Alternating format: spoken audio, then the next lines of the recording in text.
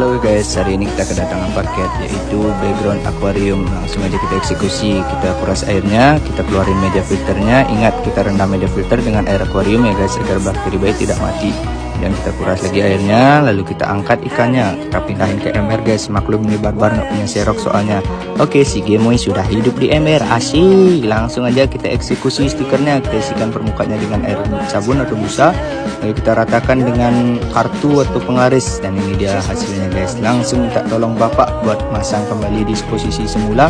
Dan ini dia hasilnya. Cara ini namanya kalau menurut saya sih dan setahu saya ini background Malaysia konsep guys. Aslinya konsep ini soalnya orang-orang Malaysia biasanya pakai di arwana.